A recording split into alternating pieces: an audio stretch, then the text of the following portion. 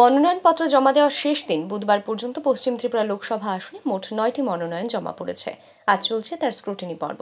নয়টি মনোনয়নপত্রের বৈধতা রয়েছে বলে বৃহস্পতিবার জানালেন পশ্চিম ত্রিপুরা লোকসভা আসনের রিটার্নিং অফিসার তথা পশ্চিম জেলা জেলা শাসক ডক্টর বিশাল কুমার।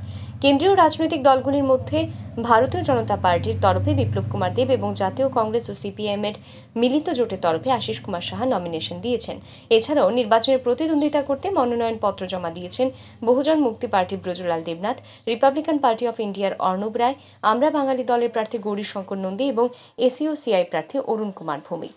পশ্চিম ত্রিপুরা লোকসভা আসনের নির্দল প্রার্থী হিসেবে মনোনয়নপত্র জমা দিয়েছেন আরও তিনজন বলরাম দেববর্মা মিলন পদমুরা সিং এবং রমেন্দ্র রিয়াং আগামী ত্রিশে মার্চ মনোনয়নপত্র প্রত্যাহারের শেষ দিন তারপরই চূড়ান্ত প্রার্থী তালিকা ঘোষণা করা হবে বলে বৃহস্পতিবার জানিয়ে দিয়েছেন পশ্চিম ত্রিপুরা লোকসভা আসনের রিটার্নিং অফিসার তথা পশ্চিম জেলা জেলা শাসক ডক্টর বিশাল কুমার टोटल जो नॉमिनेशन सबमिट हुए हैं वेस्ट त्रिपुरा लोकसभा कॉन्स्टिट्यूंसी के लिए टोटल नौ नॉमिनेशन सबमिट हुए हैं और आफ्टर स्क्रूटनी नौ के नौ नॉमिनेशन वैलिड पाए गए हैं।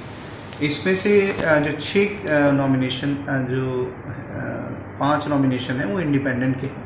और चार नॉमिनेशन हैं, वो एक, वो पार्टीज़ के हैं, जिसमें से हम लोग S I C U bracket C एक पार्टी है, फिर republic party of India bracket A दूसरी पार्टी है।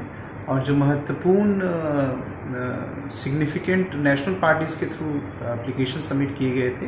वो श्री विप्लव कुमार देव, जो भारतीय जनता पार्टी के रिप्रेजेंटेटिव उन्होंने एक नॉमिनेशन फ़ाइल किया था और श्री आशीष कुमार शाह, जिन्होंने इंडियन नेशनल कांग्रेस की तरफ़ से नॉमिनेशन फ़ाइल किया गया था। ये नौ के नौ नॉमिनेशन जो फ़ाइल हुए, ये सभी वैलिड पाए गए हैं और अब 30 तारीख को विड्रॉल की डेट है। विड्रॉल के बाद हम इसमें कैंडिडेट फाइनलाइज कर देंगे।